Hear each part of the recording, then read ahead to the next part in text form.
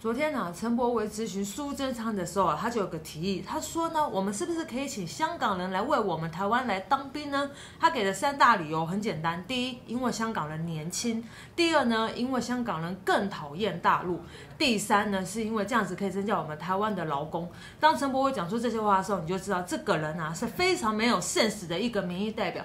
首先呢，他说香港人很年轻，但难道我们台湾没有年轻人吗？来，再来他就讲说香港人比我们更更讨厌大陆，那就是证明了一件事情嘛。其实，在台湾岛内的群众来讲，我们没有这么讨厌大陆啊，为什么感觉好像台湾非常仇恨大陆呢？是不是你民进党在塑造这个舆论？是不是你民进党在故意挑衅呢？再来了，他也对香港的认识呢非常的不新。没错，我们在画面上看到呢，有很多的香港人，他们对于大陆是很反弹的。可是你也可以发现说，其实，在当中。有非常非常多的爱国的香港人士在当中，只是这样的新闻呢，我们台湾的媒体呢不太报，现在那就感觉好像台湾岛内都觉得说，是不是嗯，我们香港的民众呢其实对大陆是没有这么喜欢的。那再来就讲啊，这个可以增加我们台湾的劳工。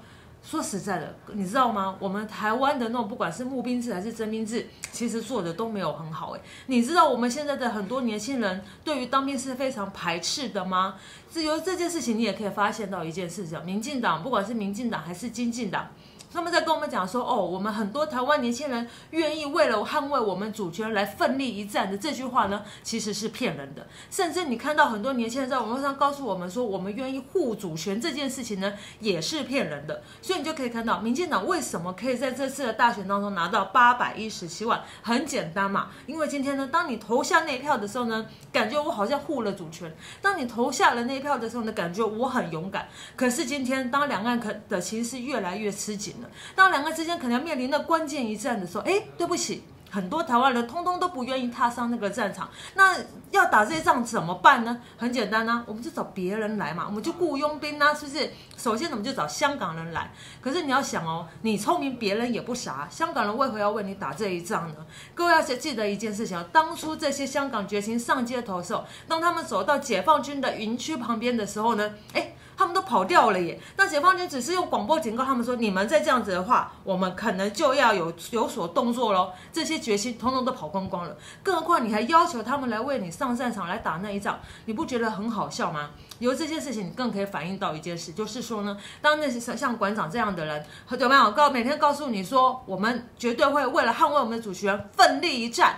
然后呢，有很多的网友呢，在网络上告诉你说：“哦，我告诉你，我现在四十岁了，我现在几十岁了，我那我绝对呢，每天都在练身体，我就等着呢，就是两岸开战的那一天，我要捍卫我们的主权。”我跟你讲，那些通通都骗人的，因为当你超过了三十五岁以上，你就除役了，打仗轮不到你。